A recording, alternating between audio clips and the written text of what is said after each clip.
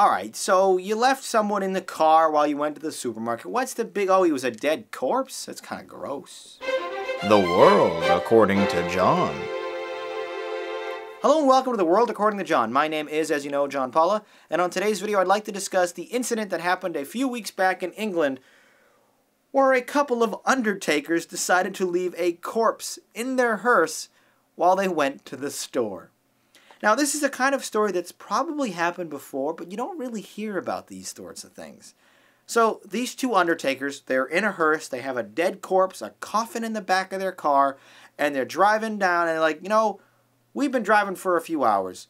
Let's pull over and go to this store and take a break and get lunch. Except what happened was some other people in the parking lot noticed this hearse parked in the parking garage with a dead body inside. And they reported this they thought it was awful disrespectful to the deceased. And, you know, I can't blame them. I mean, if that was like my father or something in the coffin, and I saw them like parked at like a Safeway getting groceries when they're supposed to be taking my father to the funeral home, yeah, I guess I could get kind of upset. But at the same time, hey, if you've been driving for a few hours, you need to get a snack or something, you know, just like anybody else on the road, you need to pull over every once in a while. So I can't blame the Undertakers themselves for doing this. It, it's just a very interesting story, and I'm not actually sure how to feel, which is why I'm bringing this video to you, because I'm hoping you'll tell me how I should feel about this. Is it a good thing? Is it a bad thing? Or is it a totally, who gives a crap, whatever, it's not a news story at all, Jon. Why are you even telling us about this?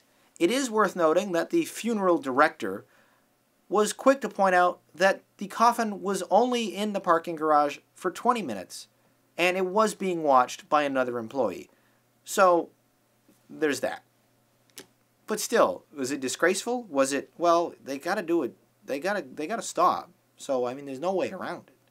Let me know what you think about this in the comments down below. But for me, for now, those are my thoughts on undertakers leaving their coffins in the middle of parking lots. My name is Jon, and I hope to see you right back here tomorrow.